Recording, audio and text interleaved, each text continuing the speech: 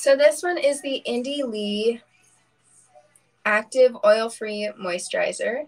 It's meant to hydrate and protect. So um, I know it's a little pricey for a moisturizer, but it is really like it's natural products, cruelty free, all that kinds of stuff.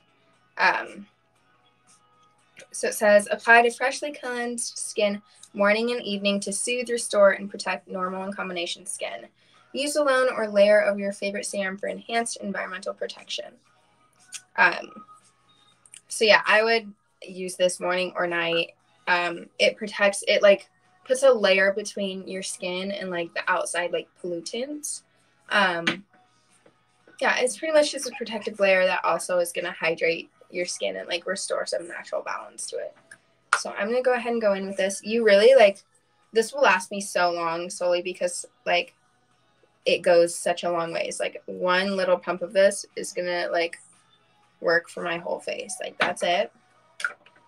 It like even will probably like go down my neck a little bit. So let's see. I've got like a mirror in front of me because using my phone as a mirror doesn't always work well for me. I usually pat my moisturizer in more than I rub it in because I think it absorbs a little better that way to me. Okay.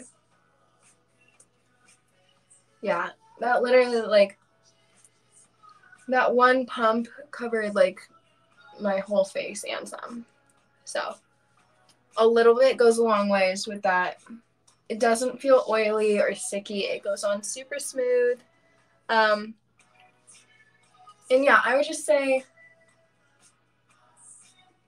yeah, I would just probably say that moisturizer is like one of the most important steps in your makeup routine just because one, it's going to keep your makeup looking like your skin looking hydrated the whole day, whether you like suffer from dry skin or um, like you struggle with your makeup looking kind of like cracked throughout the day.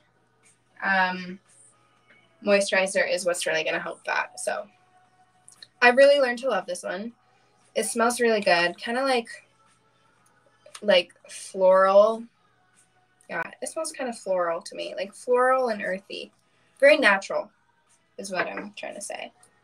Um, but yeah, it just serves as a good barrier and layer between your actual makeup, the outside world, and your skin. So protect your skin.